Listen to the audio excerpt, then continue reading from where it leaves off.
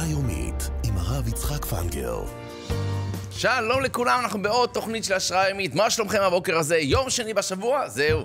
נר ראשון של חנוכה, אנחנו בעזרת השם רוצים להתחזק. אני אתמול חזרתי מרומניה, נדבר קצת רשמים על... אה, לא על רומניה, לא טיילתי ברומניה, אבל הייתי עם קהילה שברחה מאודסה, פליטים, אה, אם אפשר להגדיר את זה פליטים, אה, קהילה שברחה מאודסה והתיישבה במקום ברומניה, ננסה להבין כמה תובנות משם, ננסה לדבר על חנוכה כמובן, היום הגדול, על הגמר שהיה אתמול, סתם, ממש לא.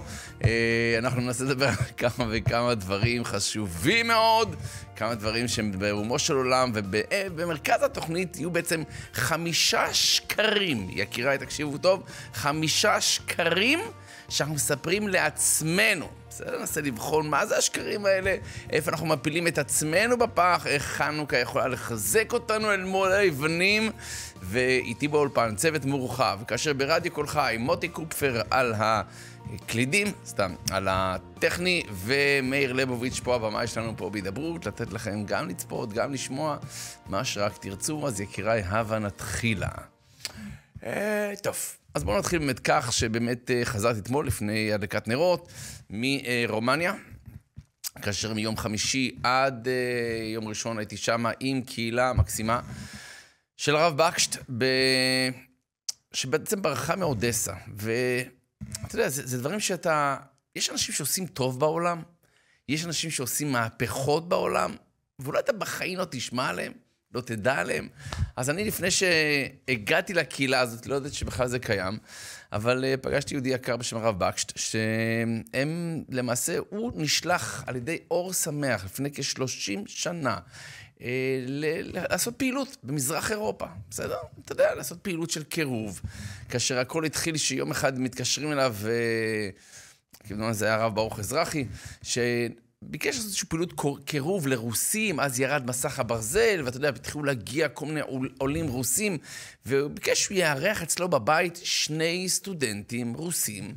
אה, והרב בקשט אמר, תקשיב, אני לא, אני לא טוב בזה, אני לא, אני לא טוב בקירוב, אני, אהרוס לך, אני לא יודע מילה ברוסית, תעזוב, תשחרר, מה שנקרא. אבל uh, התעקשו, והוא אירח שני רוסים אצלו בבית, ושנה לאחר מכן הוא מוצא את עצמו באודסה. אודסה שבאוקראינה, ולמעשה הוא מתחיל פעילות קירוב שהתחילה לפני, בשנת 93 למניינם, לפני קרוב ל-30 שנה, כאשר למעשה הוא מתחיל עם 12 זקנים. ואסיר אחד. ככה הגדיר לי אורי הנהג שלקח אותי, אז הסביר לי בדיוק מה בהתחלה. 12 אנשים, זקנים, אתה יודע, אתה בא לאודסה, אוקראיני, אתה יודע, הקומוניזם בעצם השחית שם כל uh, פינה טובה באודסה, מדברים רוסית. ואין להם שום קשר ליהדות, בודדים פה ושם, אתה יודע, אז הוא, אין מניין, אין שום דבר. אם היו שולחים אותך לדבר כזה, ואתה לא שליח חב"ד, אתה יודע, עם uh, התלהבות ורבה מאחוריך, אלא אתה באמת uh, עושה את זה לבד. אז בהתחלה הוא היה אמור להישבר, אבל הוא התחיל לאט, לאט, לאט, ואז בשלב מסוים הוא פותח גן ילדים, בית ספר בעצם אה, דתי, כי אין בית ספר יהודי, וככה הוא התחיל, עם הילדים. והיום אני מדבר איתכם על קהילה שאני פגשתי לפחות כ-60 משפחות, בני תרא, ממש בני תורה, ליטאים, אתה יודע, תפילה ליטאית לכל דבר. עוד רגע תפילה ישיבתית, אני אומר לכם, אני הרגשתי שם ממש... אה, לא, לא חשבתי שאני ברומניה. וכולם בעצם, זה כמעט כולם ילדים שגדלו שם, בבתי ספר האלה, או בעלי תשובה שנוספו עם הזמן, ואתה רואה שהם עשו אימפריה שלמה של זיכוי הרבים, אם זה גן הילדים, ואם זה תלמודי תורה, נכון להיום, אם זה בית ספר לבנות, בית יעקב, ישיבה קטנה, ורק הוא אמר לי משפט אחד, תראה כמה כוחות יש לאדם שהוא אפילו לא מכיר אותם. בסדר? נקודה מאוד חשובה לכל אחד מאיתנו.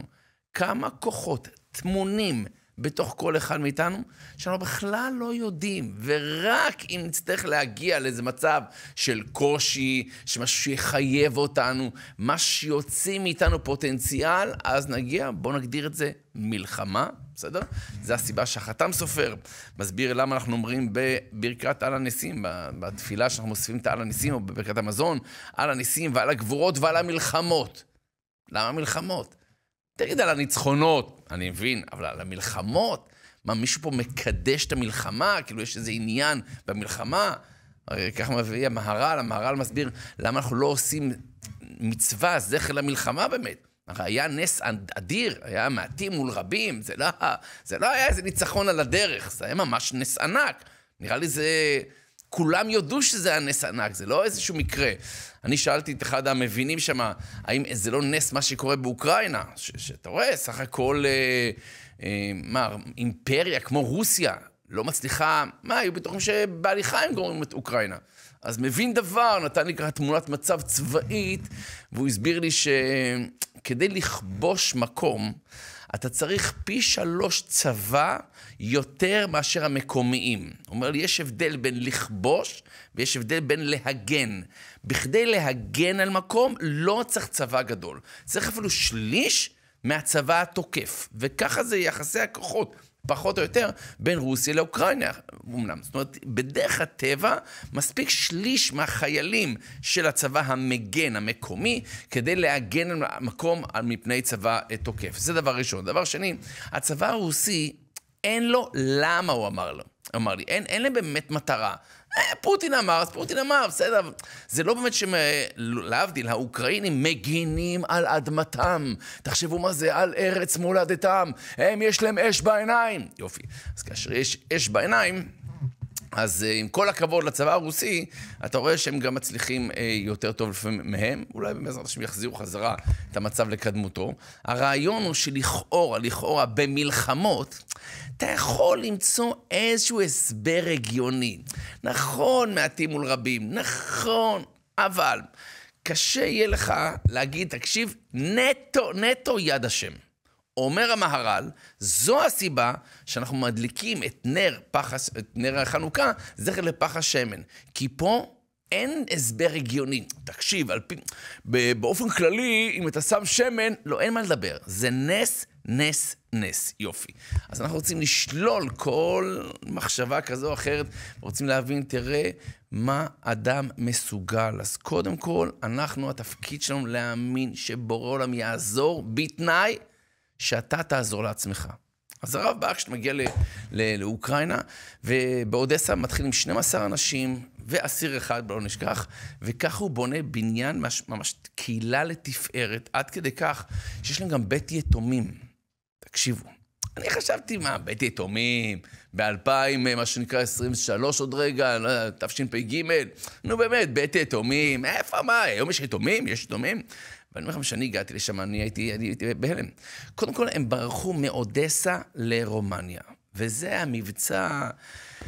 יאמר לזכות אה, הרב רפאל קרוסקל, שהוא בעצם גם היד ימינו של הרב בקשט, שהוא בעצם אה, אחראי על כל הקטע הפיננסי, נקרא לזה ככה, לשנע את כל הקהילה.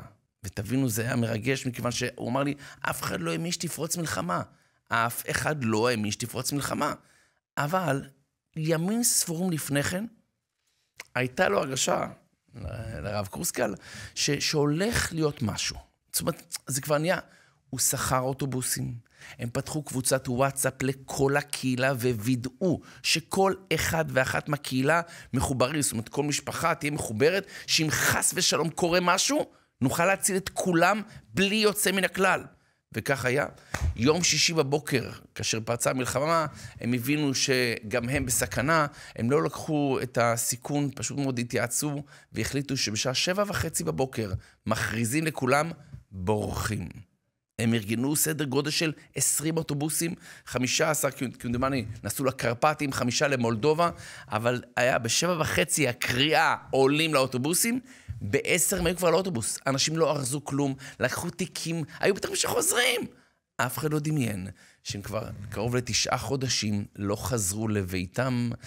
הם ברחו למולדובה, וממולדובה הגיעו לרומניה, והיום הם יושבים בעיירה בשם נפטון. נפטון ברומניה, כאשר הם שכרו שלושה מלונות, והם נמצאים שם כל הקהילה. כל הקהילה במלונות אוכלים, והם פתחו שם, אני אומר לך, תלמוד תורה, אני מגיע שם לרומניה, עיירת נופש כביכול, מה זה עיירת נופש? אין כלום שם.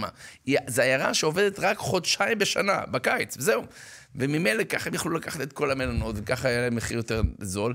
ויש שם אולם כינוסים שפתחו אותו, שהוא עבד פעם אחת ב-20 שנה, משהו כזה. וזה האולם של הבית כנסת שלהם. אף אחד לא הבין למה בונים אולם כינוסים באזור של עיירת נופש. מי ירצה כינוסים? כל מלון יש לו את, את, את, את הדברים שלו. אז פתאום, אתה רואה משמיים, הקדוש מגלגל את הכל. בקיצור, כל הסיפור הזה, להראות לכם שלושה דברים עיקריים. א', תראה מה בן אדם אחד, בסדר? עם, עם אנשים טובים שעוזרים כמובן, אה, יכול לעשות. וזו נקודה עבורנו קצת אה, לזעזע את עצמנו. שלא לחשוב רק על עצמנו. וכמובן שאומר אדם אחד, אז זה לא אדם אחד. מעבר לאנשים הטובים שעוזרים, זה גם בני המשפחה שלו, האישה, הילדים, זה מסירות נפש של כולם. אבל uh, לעשות uh, שינוי, שינוי אדיר, וכל כך הרבה אנשים, אתה יודע, אני הגעתי שם, זה, זה קרוב למעלה מאלף איש, יש שם בכל ה... אתה יודע, זה משפחות המורחבות, זה המעגל השני של הקהילה. המעגל השני, כמובן שהילדים שלהם, למשל, כמו בית ספר שובו כזה. הילדים לומדים במסגרות היהודיות, ההורים עדיין לא דתיים לגמרי, הם מתקרבים פה ושם, אתה מבין? אז כולם ברחו, וכולם בשלושת המלונות האלה, וכולם לא משלמים על המלון. הם מחזיקים אותם, הקהילה מחזיקה אותם, בסדר? קיצור, באמת חסד אדיר, אז מאוד התרגשתי. גם היתומים התרגשתי, אני אגיד לך את האמת. מוצאי שבת עליתי לקרוא איתם קריאת שמע, עם הבית יתומים. אז הם מסודרים חדרים חדרים, לפי הגילאים. ואתה יודע, זה קרע לי את הלב, אני אומר לך ברצינות. נכנסתי לחדר של, של, של הבנים כזה, הגיל כזה, כיתה א' כאלה, ו... והם כולם רצים עליך וקופצים עליך, ורוצים שתרים אותם. כאילו, מה זה אוקיי, מה זה ריחמתי, ריגשתי, מה שתרצו. בקיצור, אז, אה, אז תגידו תודה שיש לכם אבא ואימא, ותגידו תודה שיש לכם בית, ותגידו שאתם בארץ ישראל, ולא באוקראינה, או באיזה מקום כזה, ששם, אתה רואה, יש אתגרים כנראה יותר גדולים בנושאים האלה. אה, זה לא, זה גם יתומים סוציאליים, זה לא רק יתומים ביולוגיים, זאת אומרת שאין להם אבא ואמא, שהרבה פעמים גם זה, יש רק איזה אחד, מה שנקרא, וגם האחד לא מצליח לגדל את הילד אפילו אחד שיש לו או, או יותר או פחות. קיצור, לענייננו. הנקודה העיקרית היא להודות ולהלל על מה שיש לנו, לדעת מה הכוח של כל אחד יחיד שלנו, ובעזרת השם לחשוב, טיפה על האחרים, ולא רק על עצמך. נהדר, עד כאן רשמים מרומניה, אם יהיה אני אגיד לכם בהמשך. אבל בואו נתחיל את השיחה שלנו היום, והשיחה שלנו היום מורכבת בעצם מחמישה שקרים שאנחנו אומרים לעצמנו. מישהו פה חושב שהוא משקר לעצמו? אף אחד לא חושב שאתה משקר לעצמך, נכון? אבל אני אומר לכם, כל אחד מאיתנו, במידה מסוימת, אם יש לנו הרגל לא טוב, ההרגל ההרגל, ההרגל הזה ממשיך ונשאר בגלל מישהו אחד, והוא, זה נגלה, נגלה לכם אחרי הפסקה קצרה, וכבר חוזרים. תודה רבה שחזרתם אלינו, ואנחנו ממשיכים בעזרת השם להתכונן לחנוכה. אנחנו כבר בנר הראשון, אבל אנחנו רוצים להתכונן כאשר, אה, שוב, בחלק הראשון של התוכנית, הבאתי לכם רש... רשמים מרומניה שחזרתי אתמול. התוכנית אתמול הייתה מוקלטת, בסדר? אז רק תדעו. אה, אם אמרתי שטויות, אה, אז הייתה מוקלטת, אבל... זהו, חזרתי אתמול בסביבות שעה שלוש וחצי, מרומניה, מנפטון, מאיזה עיירה, שלמעשה שם ברחה קהילה מאודסה. שתי נקודות שכחתי להגיד לכם. נקודה אחת, שב-1 בספטמבר אצלהם, זה היום שבעצם הילדים הולכים ללימודים, זה יום מאוד גדול, הם עושים איזה עניין מאוד גדול שם באוקראינה. ו... ושנה אחת החליטו להזמין נשים, נשים משפיעניות, איך נקרא לזה, נשות עסקים, נשות קריירה מאוד חשובות, מאוד מאוד עוצמתיות, שילוו את הבנות היתומות לבית הספר שלהם, כי אין להם אימא כזאת. ואז, אה, אחרי האירוע המרגש הזה, הם שאלו את הרב בקשט, מאיפה יש לך את הכוח, אתה יודע, למסירות נפש כזאת, אתה יודע, לעזוב את הבית. שוב, אני אומר, זה גם של, האיש, של, של הרבנית וגם של הילדים, זה... אבל בפועל הוא, הוא צריך להגיע, הוא מגיע פעם בחודש הביתה, קצת מסירות נפש מאוד מאוד אה, אה, קשה, נקרא לזה ככה, והוא ענה להם שאני קם כל בוקר עם, עם חיוך. למה? כי אני קם למשמעות. אני אומנם מוסר נפש, אני עובד מאוד קשה, אבל יש לי משמעות למה שאני עושה. תראי פה את כל הילדים, תראי את הקהילה, זה נותן לי משמעות. אז בשביל משמעות אני מוכן לעבוד קשה. אמר שהיו נשים שם שפרצו בבכי. וזה נשים עוצמתיות, אתה יודע, שעושות הרבה מאוד כסף, כנראה לא בציבור הדתי, אלא מדובר פה על... אה, יכול להיות גם בציבור הדתי שעושה הרבה כסף, אין לי בעיה, אבל אדם דתי יש לו משמעות. אז הנקודה העיקרית, נשים שם בכו, שאתה יודע, כולנו רצים הרי, כולנו רצים. השאלה, מי גוזר את הקופון בסוף התהליך למצוות, למעשים טובים, לחסדים? או מי שאוסף כסף, אתה יודע, זה נשאר שם בארכיון, אני לא יודע למה. זה נקודה ראשונה. נקודה שנייה, הרב רפאל קרוסקל אמר דבר יפה, שהוא אמר שהחינוך שהם הגיעו לאוקראינה, היה חינוך מזעזע. זאת אומרת, תבינו, חינוך רוסי קשוח ואכזרי, ממש אכזרי. תבינו מושגים, סתם דוגמה, האספת הורים זה לפני כולם. מה זאת אומרת? כל ההורים עם הילדים יושבים במעגל, והמורה או המורה עובר תלמיד-תלמיד ואומר בדיוק מה הוא בעיקר לא עושה, מה שנקרא. לא דברים חיוביים, בוא נגיד משהו יפה על יוסי או על אבי, ממש לא. פשוט מלבין פני חברו ברבי מדאורייתא שבדאורייתא, מה שנקרא, בסדר? וככה חינכו אותם, חינוך כביכול למצוינות, ביד קשה, מכות, זה ברור. אבל אמר לי בחור אחד שהוא, שהוא חזר בתשובה, הוא למד בקריית מלאכי, זאת אומרת, הוא היה באודסה, הגיע לקריית מלאכי, תראה, באמת בן תרא אמיתי, עכשיו הוא מתחתן. הוא אומר, עדיין יש לי איזה קיבעון בראש, שאם אין לי תואר במתמטיקה, אני לא שווה כלום. זאת אומרת, החדירו לי כל כך את הרעל הזה, שאם אני לא אהיה עם משהו אקדמאי, תבין, אז אתה לא שווה שום דבר. הוא אומר, תבין, למרות שעברו שנים מאז, אבל גם היום מבינים שזה לא הדרך החינוך הנכונה, של יד קשה, של השפלות, של איסורים. למה אני אומר את זה? לא כי זה נושא חינוך עכשיו, אלא אמר הרב קוסקל, אמר דבר יפה, אמר שככה אנחנו פונים לקדוש ברוך הוא, ואומרים לו, בורא עולם, תקשיב, אתה יודע, היום בדור שלנו, יד קשה לא עובדת. תקשיב, עונשים וזה, זה לא... היום זה לא דרך החינוך, היום זה יותר חיבוק, יותר עידוד, נכון? יופי. אז תתנהג אלינו אותו דבר. תחנך אותנו גם כן בחיבוק, בעידוד. אנחנו לא, אתה יודע, כמו שאתה אומר לנו, להתייחס לילדים שלנו. אוקיי, נהדר. בקיצור, אז בואו נחזור עכשיו לחמישה שקרים, בקצרה, שאנחנו אומרים לעצמנו. כשאני אומר חמישה שקרים, פירוש דבר, נקודה ראשונה. ואמרתי לכם את זה פעם, אבל אני אחזור. אם אני, אני מדבר לעצמי אפילו, בסדר, לא אליכם.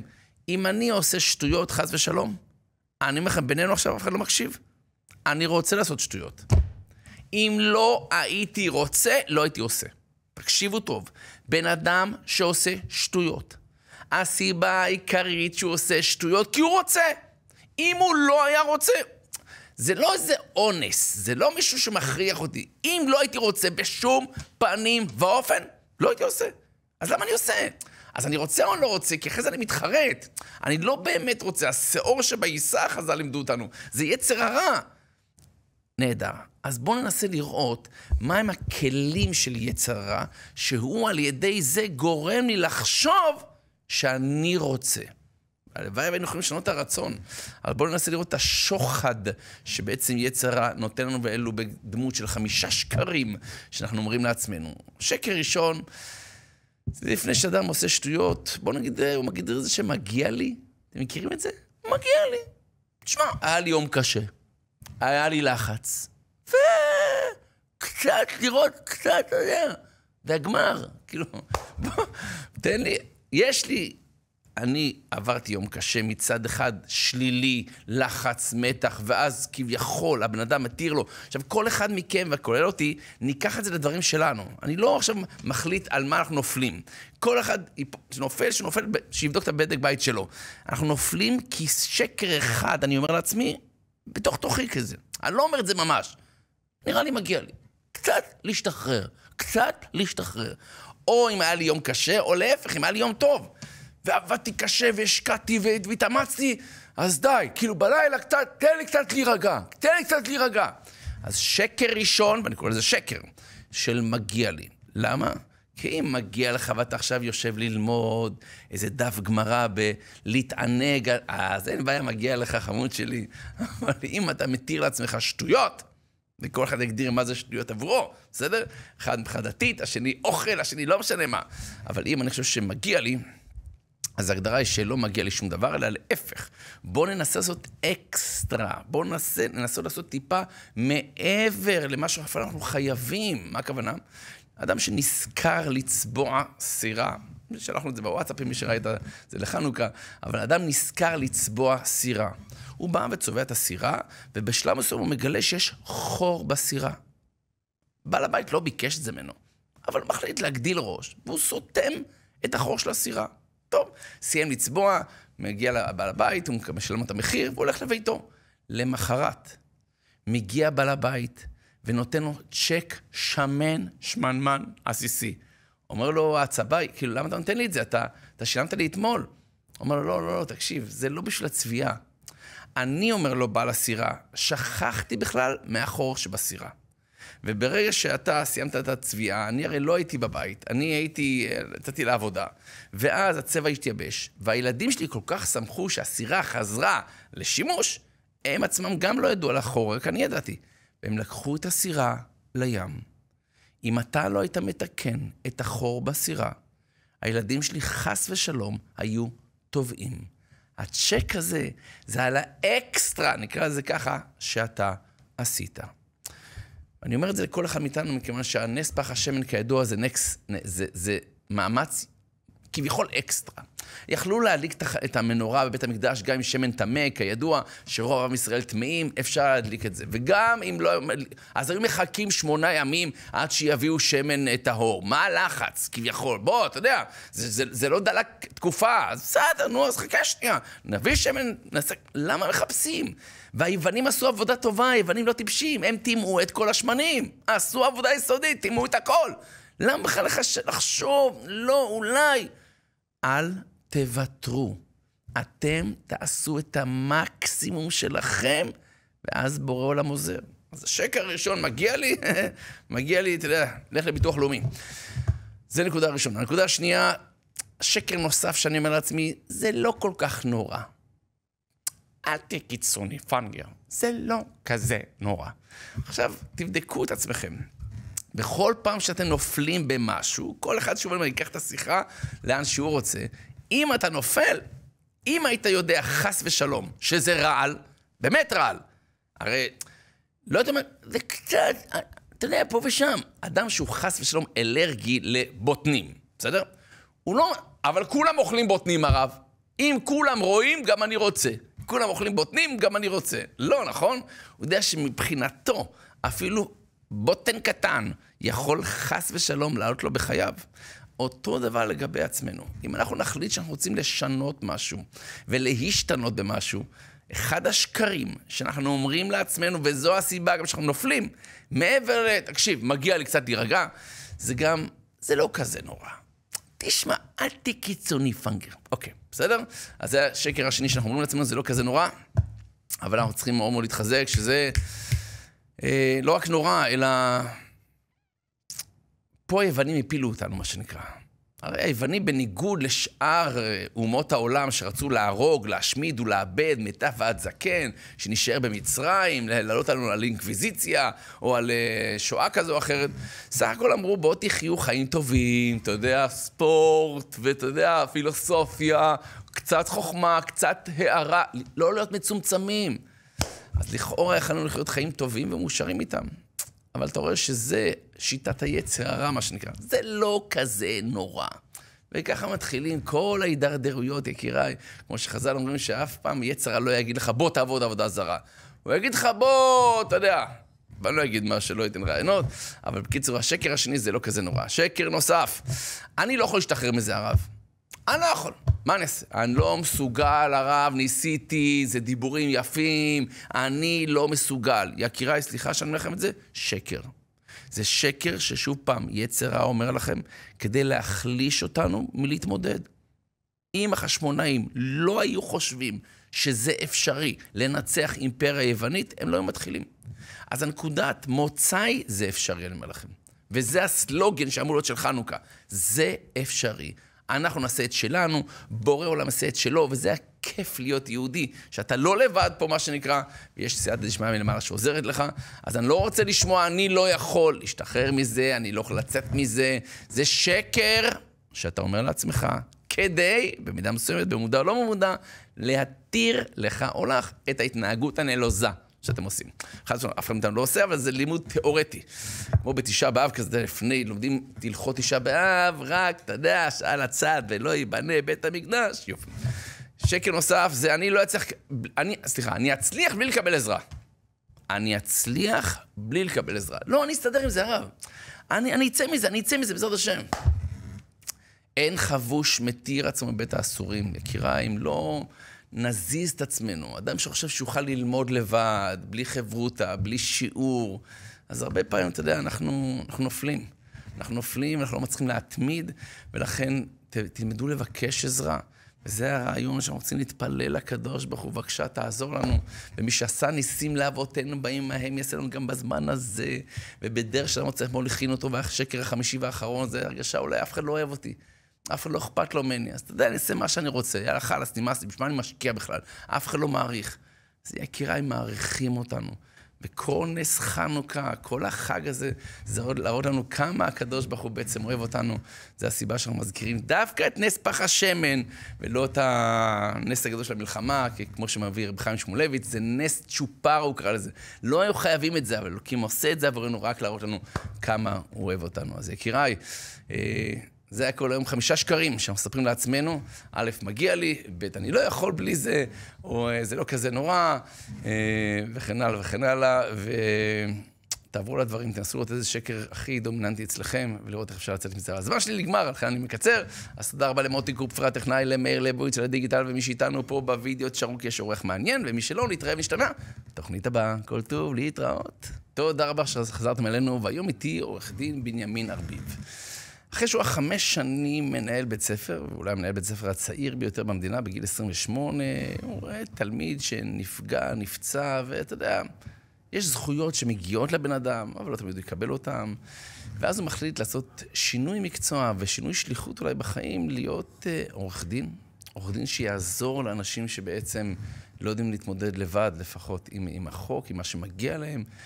ומפה ועד חנוכה, ועד חנוכיה שנופלת מהקומה העליונה לקומה התחתונה, מדליקה אופנוע, מדליקה בית, מי אחראי, מי אשם, מה קורה איתנו? בוא נשמע את זה ממנו. בוקר טוב, עורך דין בנימין ארביב. בוקר טוב, כבוד הרב. מה שלומך? ברוך השם, נהדר, תודה. תספר לי קצת על עצמך קצת. מה... טוב, כמו שהרב הקדים ואמר, עורך דין לענייני נזיקין, אנחנו בעצם בדרך כלל מייצגים את האנשים שנפגעים, אנשים שנפלו ברחוב, ניזוקו נזק גוף, mm-hmm. נזק רכוש. פעמים גם יוצא לייצג את הנתבעים עצמם, שזה סיפור יותר עצוב. אתה יכול לזהות במשרד מי שנכנס כתובע ומי שנכנס כנתבע. Okay. אוקיי. התובע תמיד יותר מחייך, מטבע הדברים. לפחות כבר נגרם לו נזק, נזק גוף, אז לפחות mm. מישהו צריך לשפות את זה. Mm. בנתבע הסיפור יותר עצוב, כי נתבע בעצם הוא בא וחרב אה, מונחת על צווארו. Wow. מקבל כתב תביעה בדואר עם שליח, מחזה לא נחמד. וכתב התביעה בא ודורש שתבינו תקילין של, של כסף. Mm-hmm. אנשים שרוצים להיפרע ממך, הרגשה לא נעימה, אפשר לזהות את זה מיד במבט הראשון. אוקיי, okay, וואו. אז בוא ניקח לסוגיה של חנוכה, ואז נלך אחורה קצת ל... כן, המקרה של, חנוכה, המקרה של חנוכה הוא מקרה ש, שמבחינתי זה, זה חותם של כהן גדול, אמנם לא שמן, אבל חותם מסוג אחר. Okay. אוקיי. יהודי אחד שהגיע למשרד, פנים נפולות, כמו שהגדרנו כבר בהגדרה. והגיע עם אשתו, וקבע פגישה כמובן. הבנתי שבעצם מדובר על איזה תביעת נזיקין שהוגשה נגדו. אה, אני יושב עם אותו יהודי והגברת, באמת פנים נפולות, אני אומר לו מה קרה, ואז הוא מספר לי שהוא גר בקומה השנייה, מתחתיו יש שכן, לשכן יש אופנוע, הם גרים בבית משותף. ונר, לטענת כתב התביעה, נר נפל מהקומה השנייה, מהקומה השנייה של החנוכיה שלו. Mm. על האופנוע ששהה שם במקום, הצית את האופנוע, ובתוך כך הצית גם את הדירה של השכן. וואו. השכן, יהודי טוב, לא רצה לתבוע, אבל הייתה לו חברת ביטוח. Mm. אז הוא תבע את החברת ביטוח, הוא ביקש מהביטוח, שלמו לי, אני כל החיים משלם פוליסה, משלם פרמיה, שלמו לי. חברת הביטוח אכן שילמה לו. אבל מה? היא אמרה, רגע, יש פה מישהו מעוול, יש פה מישהו שגרם לנזק, בוא נתבע את השכן למעלה. Okay. אוקיי. אותו שכן, בעל הדירה, ניזוקה, ניסה להתנגד, אבל זה לא בידו. Wow. ברגע שאתה קיבלת, שופט, לחברת הביטוח יש סמכות להיכנס בנעליך ולתבוע את המגיע לה. היא שיפטה, היא רוצה לקבל את הכסף בחזרה, ומכוח כאן הוא קיבל את התביעה. את התביעה. Wow. Wow. קיבל את התביעה, דירה סך, שנשרפה. סך כמה? סך מספר, פשוט, זה, זה הוסכם בפשרה לאחר מכן, אז זה, אני מנוע מלדבר על מספרים. הסכומים לא מבוטלים. וואו. והבל וחפוי ראש, הוא הגיע אליי. אני עובר על כתב התביעה, שואל אותו לפשר הדברים, הוא אומר, תקשיב, לא נפל נר. אני מסתכל על היהודי. הוא אומר לי, תקשיב, אתה יהודי, יהודי ירא שמיים. חנוכיה לא יכולה להזיק. Okay. אוקיי. אני שומע את המשפט הזה, ואני אומר לו, אבל יקירי, כאילו, הלכה למעשה אנחנו פה, אני צריך להסתכל בדין הקר, אני איתך, אני מזדהה איתך. אני רואה את המבט החדור שלו, והוא אומר לי, בנימין, חנוכיה, אני עשיתי מצווה, אני שליח מצווה, היא לא יכולה להזיק. משהו בי, הוא, הוא, הוא דקר אותי פשוט, הוא דקר אותי בעוד פעם. אנחנו הרי כל הזמן מתעסקים ואנחנו מסתכלים את החוקים היבשים, יש שחור, לבן, מה מותר, מה אסור. הוא נוגע בי, הוא מכניס לי צד אמוני, לא שהוא לא קיים, אבל הוא מכניס לי צד אמוני נוסף. אוקיי. והוא אומר לי, תקשיב, לא יכול להיות. אני, אני מסתכל עליו במבט כזה, אני מבין שבתיק הזה, כמו שבכל התיקים אנחנו נלחמים, יש פה גם עניין של קידוש השם. וואו, אוקיי. ואני לוקח את זה למקום הזה, אני יושב על התיק, מנסה לפרק אותו, קשה. מנסה להבין, יש כתב תביעה, יש כיבוי אש, חיבו שם את השריפה במקום, יש דוחות של אה, אה, אה, מומחי שריפות שהיה שם של כיבוי אש. הכל לרעתו. אני אומר, לא יכול להיות. אמרתי לו, תן לי לישון על זה לילה. אני קם בבוקר, הברקה של רגע, אני אומר, רגע, האופנוע שהיה במקום למי שייך?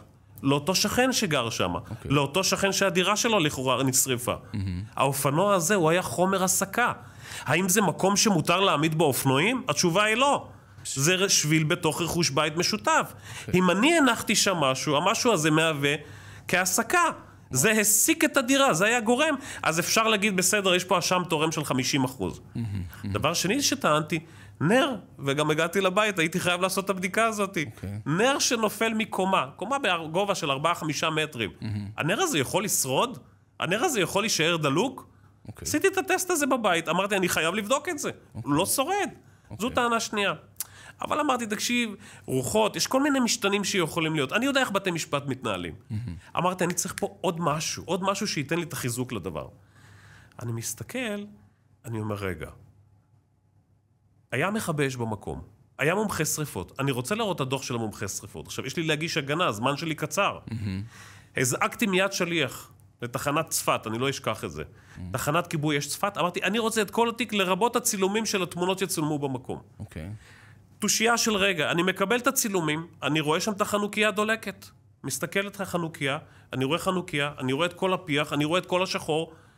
אני אומר, רגע, כמה נרות אני רואה פה? אני רואה פה שישה נרות. אוקיי. אני אומר, רגע, איזה יום בעב- בעברי זה היה? אמנם כתב תביעה לא מקבלים באותו רגע של אירוע, זה לוקח שנה, שנתיים, שלוש. כך גם שם היה. אני מסתכל שבאותו יום היו צריכים להדליק חמישה נרות. אוקיי.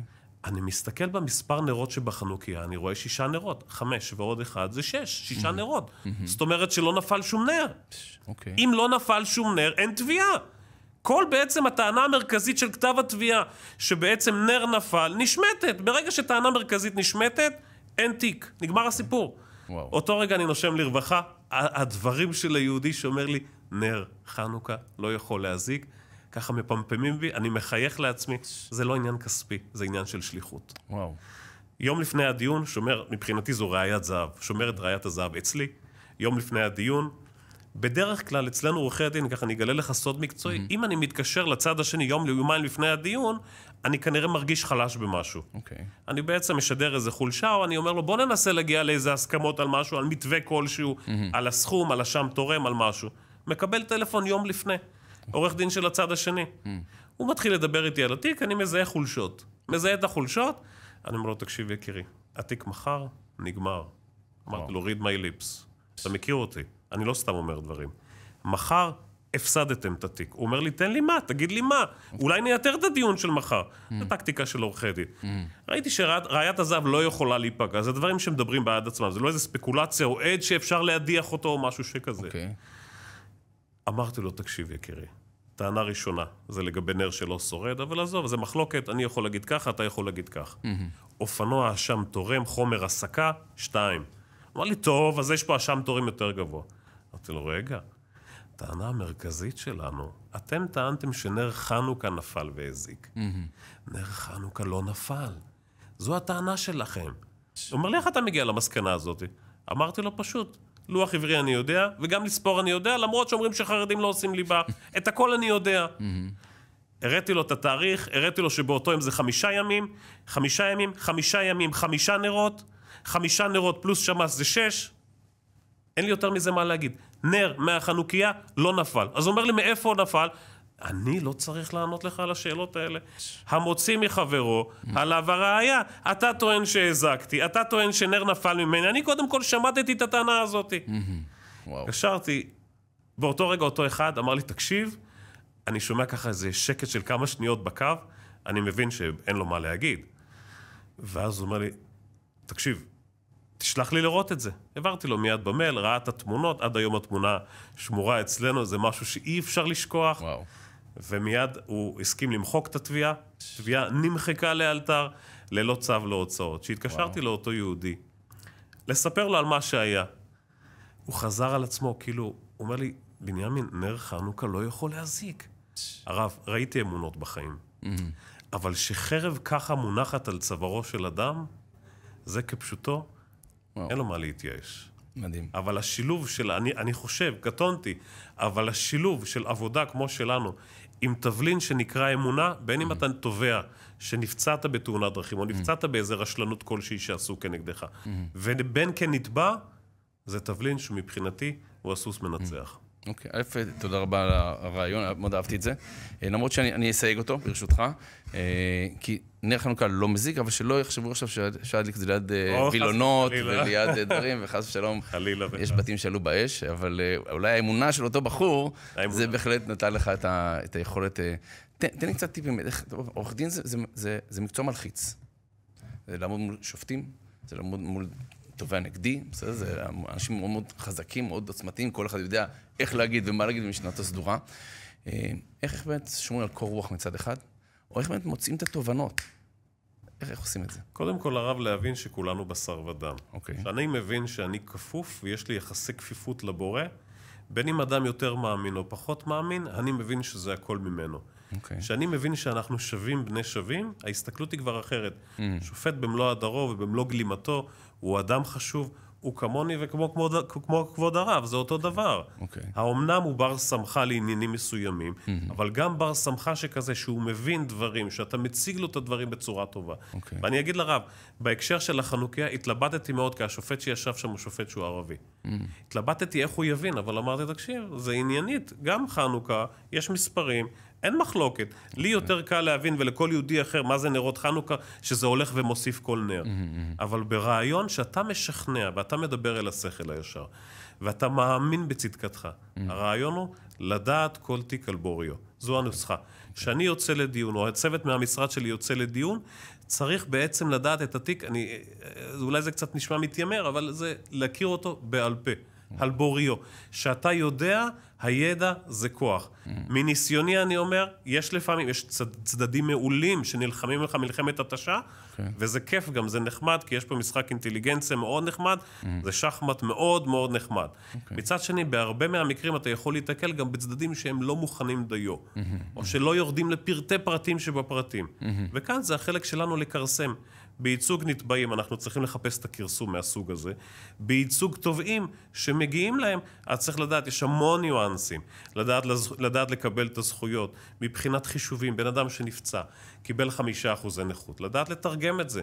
השכר שלו הוא 3,000 שקל, או השכר שלו הוא ממוצע במשק כמו 10,800 שקל. זה העבודה שלנו לבוא ולהיכנס. אני שומע הרבה טענות, לדוגמה אצל אברכי כוללים או בחורי ישיבות שלומדים. כן. ניזוקו, נפגעים. לא, הוא לא יעבוד כל החיים שלו, אז ההפסדי שכר לעתיד, גם אם יש לו נכות, נחשב את זה כמו אברך כולל של 2,000 שקל בחודש. ואז אני בא ואומר, ומי ערב לכך שהוא יישאר כל החיים 30 או 40 שנה אברך כולל? אז אומרים לי, מה פתאום? כל החרדים יושבים כל היום ולומדים. אמרתי לו, מולך יושב חרדי, שבמקרה הוא לא לומד. הוא לומד כמובן, יש לי עיתים לתורה והכל, אבל אני לא משתכר משכר של אברך קול, קצת יותר אמרתי. לכן לבוא ולקחת את זה כמשוואה ולהגיד בצורה רוחבית, אבל זה העבודה שלנו, ויש לנו המון פסקי דין תקדימיים, לא המון, זה תחומים מסוימים, פסקי דין תקדימיים בנושא הזה, שדווקא גם אברך זכאי לשכר ממוצע במשק, למרות היותו אברך, וגם אברכים יקרים שיושבים בכולל, חלקם גם או מרביתם לומדים לימודי דיינות, ששכר של דיין הוא הרבה יותר מהממוצע במשק. וואו. אבל הכל זה חשיבה, חשיבה, אסטרטגיה נכונה, קור רוח, כמו שהרב הגדיר את זה, ולדעת שמי שמפחד מאחד לא מפחד מאף אחד. יפה. דבר אחרון, עורך דין מתחיל, או גם ותיק, יש כישלונות. מן הסתם, יש מצבים שכאילו פישלתי, איך ממשיכים הלאה, איך מחר בבוקר לתיק חדש, בלי שהתיק הקודם, שלא הלך לי, יפריע. יש איזושהי טכניקה, מה עושים? קודם כל לנסות לצמצם. אין אדם בלי אה, טעויות, אין אדם בלי כישלונות, מי שלא טועה לא עובד. אה, לכן טעויות הן קיימות וטעויות הן יהיו, לצמצם מה שאפשר, וגם אם כן, אני מציע לכל עורך דין חדש באשר הוא, להתלוות, להתלוות לאנשים בעלי ניסיון. שנה, שנתיים, תפרצו, אני בעד, חובה לפרוץ קדימה. אוקיי. אבל שנה, שנתיים, ללמוד, כמו שכולם עושים בדרך שלהם. לומדים מהטובים, לומדים מהגדולים, ואז כל אחד בחשיבה שלו ובדרך שלו הולך ותלמיד עולה, בגדר תלמיד עולה על רבו. אי אפשר, ואני מאמין בגישה הזאת, כי יש לך את החשיבה. אחרי שאתה יודע את ה base טוב, קח את ה base, תעשה אותו ב touch שלך, תעשה אותו בדרך שלך. פעמים אתה יכול באמת, כמו שאמרתי, שתלמיד יעלה על רבו. תודה רבה. עורך דין בנימין ארביב, אה, למדתם, הבנתם, אה, לצורך העניין, קחו את זה לצורך, אה, לתשומת לבכם. א', לשמור על קור רוח, לחפש את הניואנסים, תראו לפעמים הברקה של רגע, לבקש מהקדוש ברוך הוא תן לי לראות את הפרצה. שמן הסתם היא נמצאת, ובפרט אם אדם מגיע עם אמונה, ומשהו בפנים אצלו שלם, אז uh, נמצא גם את השלם, ומי שמפחד מאחד, לא מפחד מאף אחד, כולנו שווים, זה יפה לראות את זה, ואז כאילו, אוקיי, כולנו בני אדם, כולנו יכולים להצליח, כולנו יכולים לטעות, אבל אם טעינו, בוא נלמד, בוא נצמצם את זה, נדע את התפקיד שלנו ואת התיק שלנו על בוריו, כל אחד ייקח את התיק שלו, לא לבוא, יהיה בסדר, בעזרת השם. יהיה בסדר, אם אתה תהיה בסדר, וככה בעזרת השם אפשר להצליח, אז תודה רבה לך. תודה רבה, כבוד הרב, יישר כוח. תודה רבה לכם, ונתראה משתמע בעזרת השם תוכנית הבאה, אז חנוכה שמח וכל טוב להתראות.